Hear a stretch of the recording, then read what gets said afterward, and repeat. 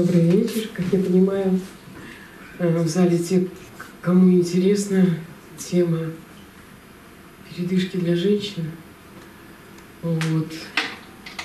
Кто согласен со мной, что женщине нужна передышка? Ну, вот видите.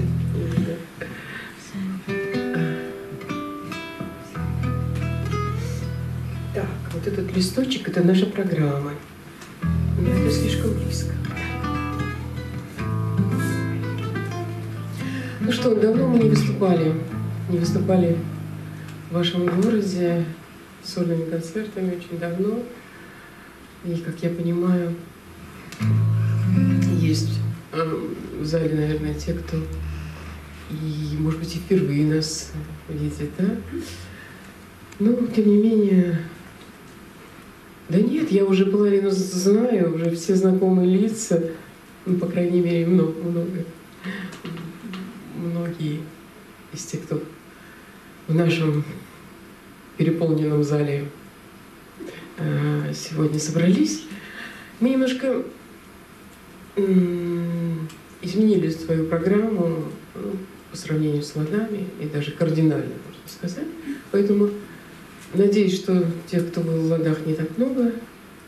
Да? Вот. Некоторые песни совсем немного будут повторяться. И мы начнем наш разговор. В общем, не знаю, серьезный, несерьезный, о том, что, в общем, волнует не только мужчин и женщин, а, собственно, это то, что хочется нам донести до всех в любых городах, и для этого, собственно, поднимаемся и летим или едем куда-то чтобы рассказать вот об этих главных вещах.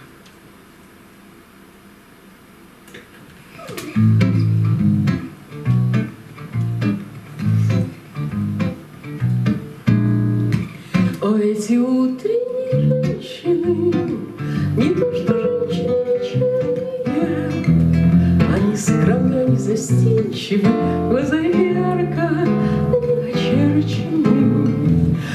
они досматриваются на бегу, Они бросаются в пасть троллейбуса. И на сыпком на земном берегу Они кому-то кажутся ребусом.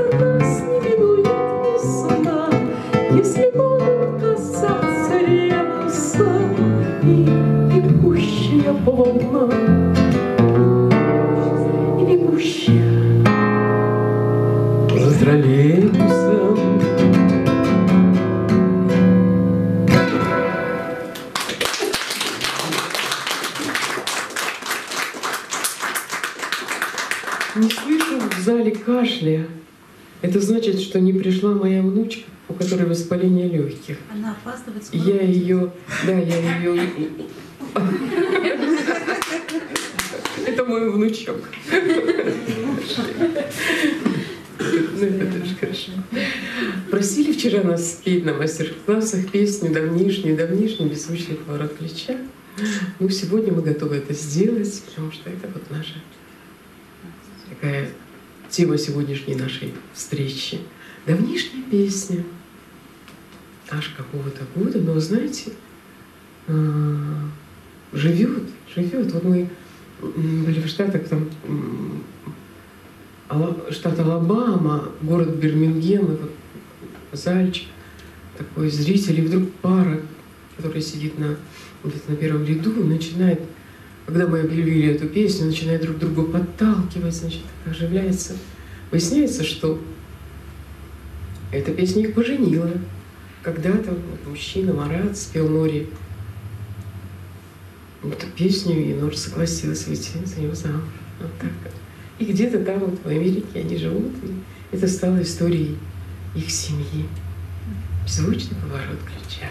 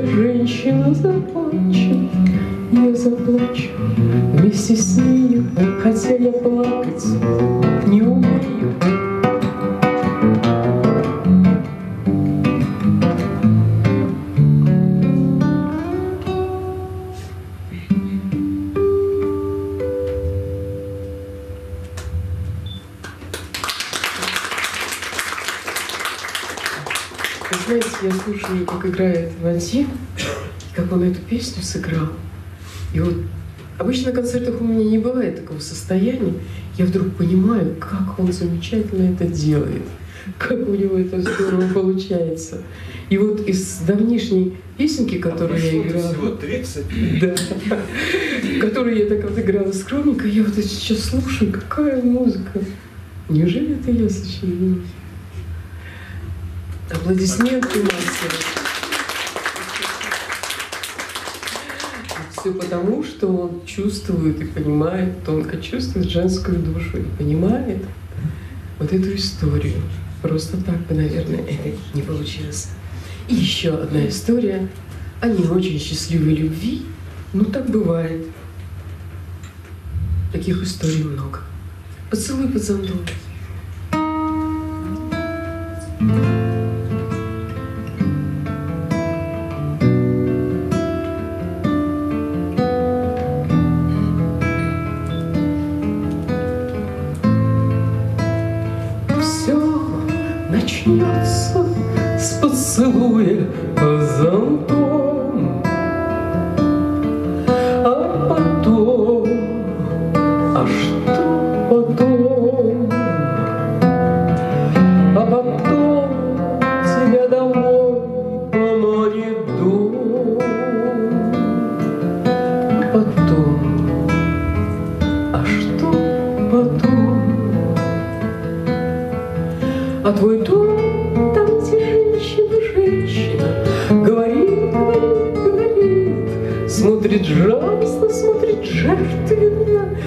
И в халатике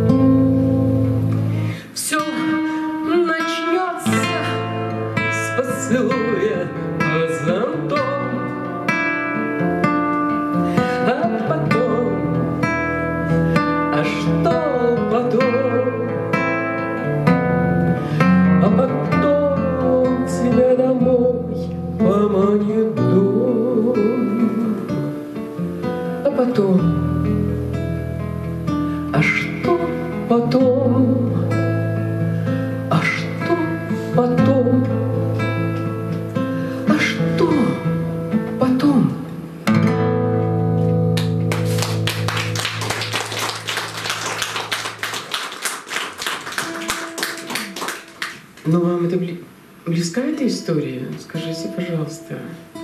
Или все это в далеком прошлом? Я так вижу ее прямо в деталях, хоть вот кино снимай. И следующая песня тоже прямо. Все-все-все вижу. Все эти цветущие поля маков. У вас этого нет, а у нас весной в степи полыхает пожар от того, что маки спошли. Добро.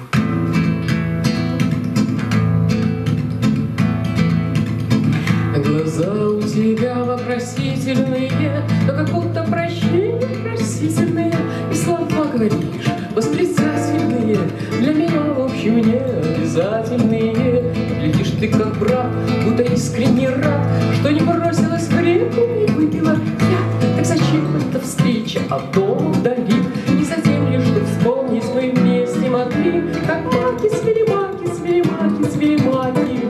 Пылали моря, серебряные травы, И золотые злаки сплетала венки земля. И мир казался странным, загадочным, туманным, Кому реке звезда, а небо удивлялось, а небо умилялось, И сердце говорило тяжела, проливать я не стала слез, Паровоз целовал, чтоб скорее увез пассажира полуночного налегке с недописанной рукописью в руке. Леденела дорога, сатанел металл, и неважно тебе, кто сильнее страдал, кто гадал, кто рыдал, а кто падал вниз, что осталось усталость от этих страниц.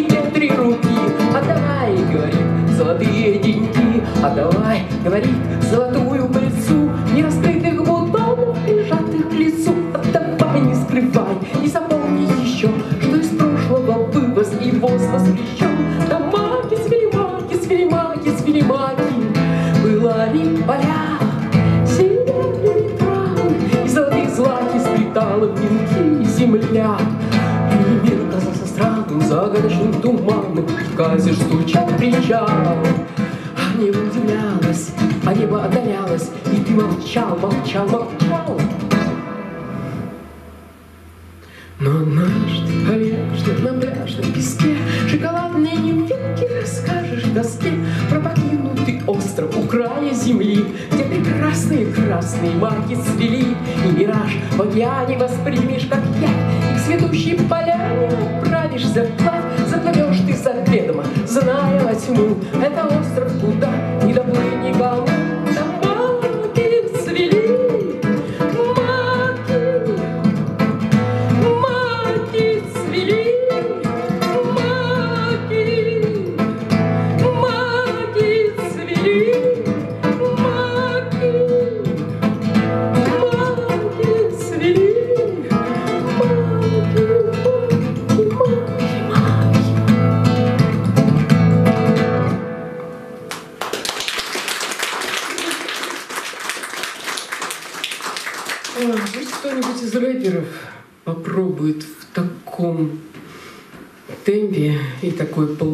текст и вот так вот все завернуть, не справится. Точно. Сейчас у нас будет лютня. Пока Вадим выйдет, я сейчас попью водички. Это вода. Невская водичка. Значит, Мы как-то выступали с Леонидом Павловичем Симаковым в Красноярске. Ну, знаете, замечательный автор, ныне покойный. Вот, и у нас на сцене у него стояла флярочка с водой. И что он говорил? Енисейская водичка. Коньячок нету. Да, как коньячок, конечно.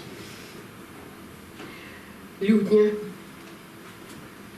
Замечательный инструмент, которого очень, который очень тяжело, конечно, перевозить, когда еще и гитара и все такое. Дрездене нам ее сделали. И вот несколько песен у нас есть, появилась в программе под лютню. И такая важная для меня песня, которую пою очень-очень редко, может быть, раз два в году. Это посвящение моей маме. Песня короткая, написалась она несколько лет. И вот как раз после маков моя мама очень любила вышивать. Вышивала цветы на подушке. Потрясающей красоты.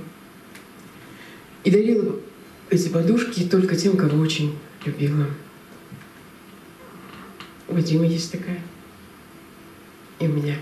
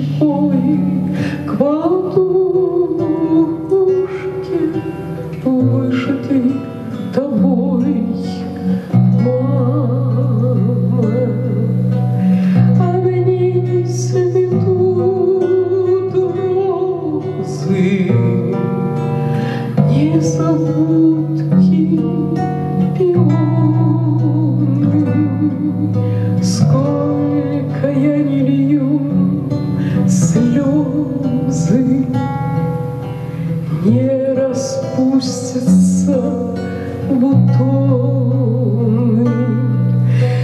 Даже если слез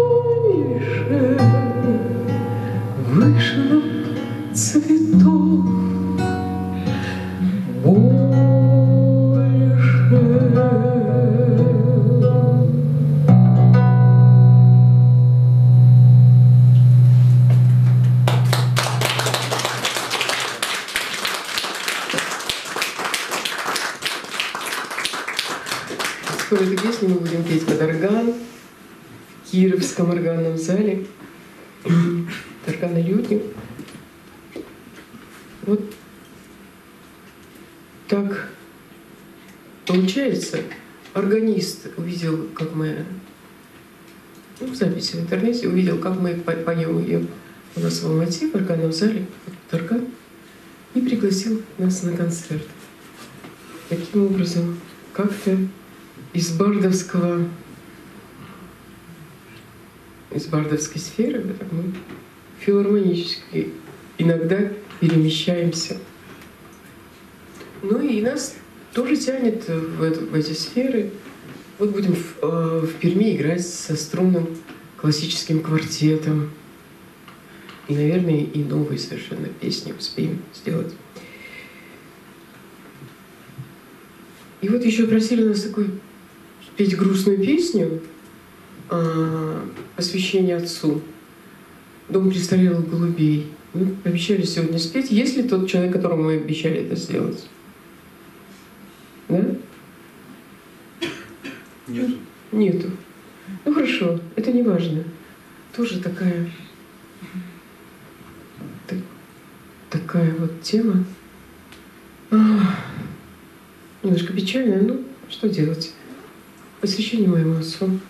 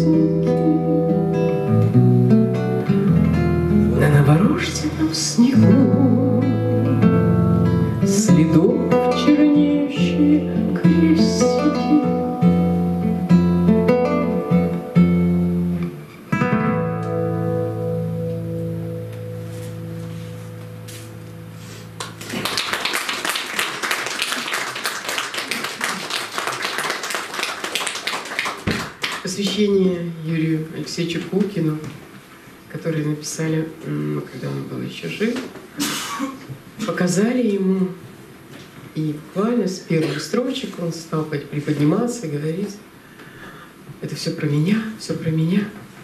А песня называется «Любите старого поэта». Так вот Юрий Алексеевич говорит, это все про меня, только я не поэт и не стар. Но мы-то знаем, что он поэт. И вообще вот э- эта песня такая была подсмотренная. Я опасалась, что давай Юрий Алексеевич Галина услышит и ее что-то смутит. Вот. Но она оказалась... И... В общем, в этом-то никто не сомневался. Мудрый человек, мудрой женщине. Она прислала нам письмо, что ей очень понравилась эта песня.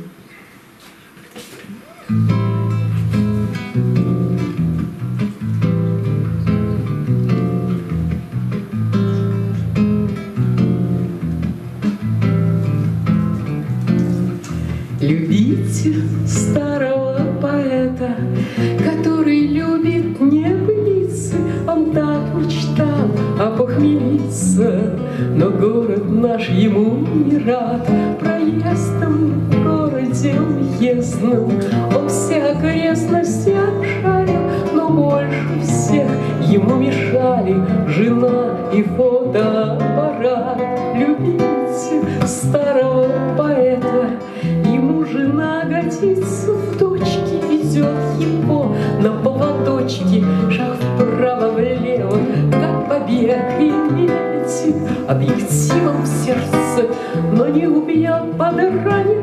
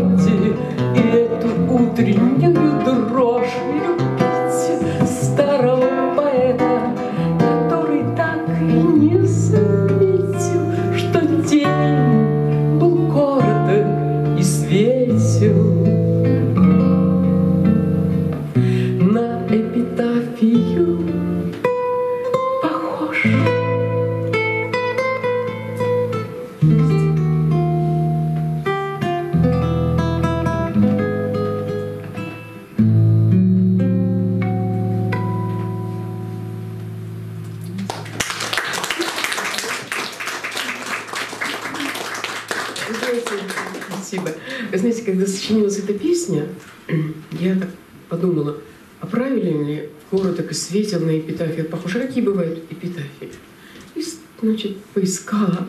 Оказывается, там это такой интересный жанр. Значит, смотрите.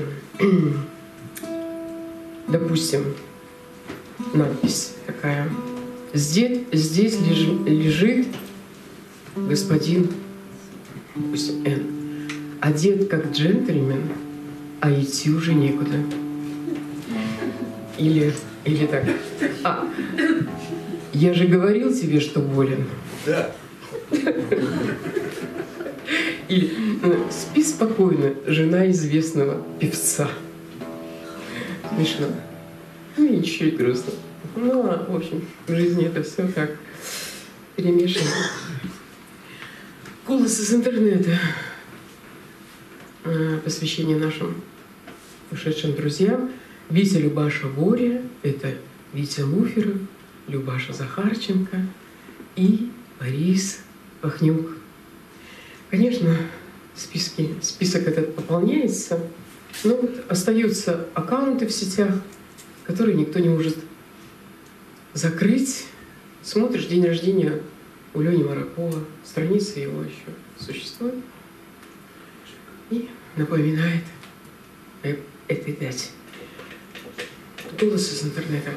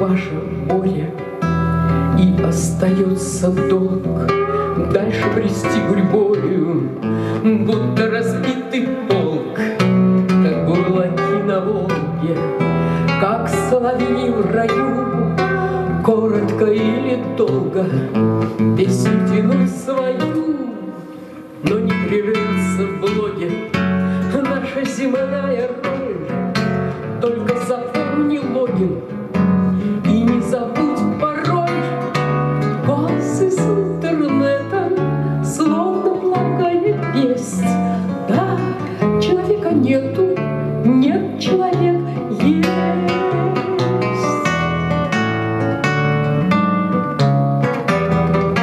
Да, человека нет, нет, человек есть.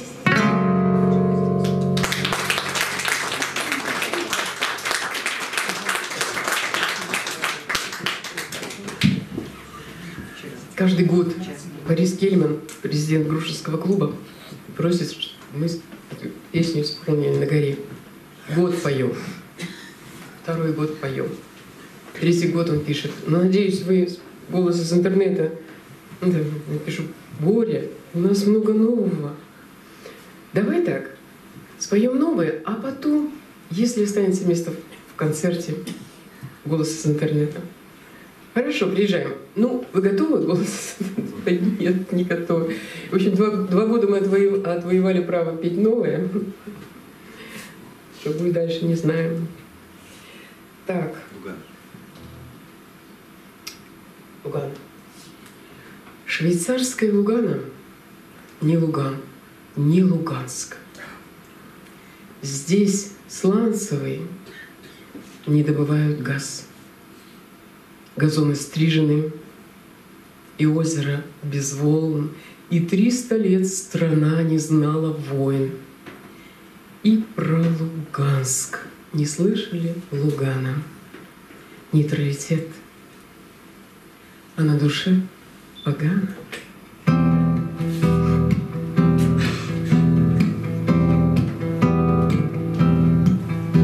Влюбляешься, сердце колотится, колотится, как на войне.